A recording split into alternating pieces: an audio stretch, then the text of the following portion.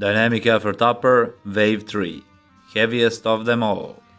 9 by 3 as always and loads of bands, and total weight written only. 3 close, 3 medium and 3 wide grips as usual. Only difference today, no ascending singles. That would be last and fastest set. Now to timed sets. This time no superset. Max reps with 2 plate in 10 seconds. Close, medium and wide grip. And also not so much rest in between sets. So I'm trying to push through fatigue fast, explosive and do many reps. Now the accessories and first superset.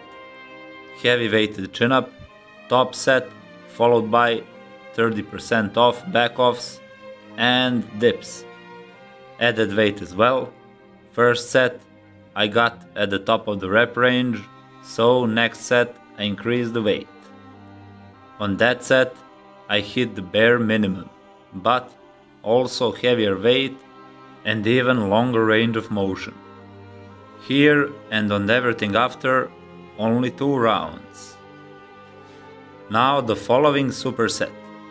Various types of pull-ups and high incline close grip bench paused. And only minor correction here. Two sets bench and three sets pull-ups.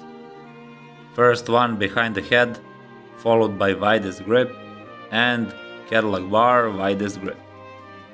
Loads of reps and loads of quality and hard reps as well, making improvements one set at a time. No rushing anywhere and body weight is maintaining, but I'll eventually have to bulk up and cut back down. Arms and first giant set. Heavy cheaty preacher curls followed by long head extensions with hammer bar and belt pronation twists. And the last giant set. Hammer bar preacher curl with rest pause sets.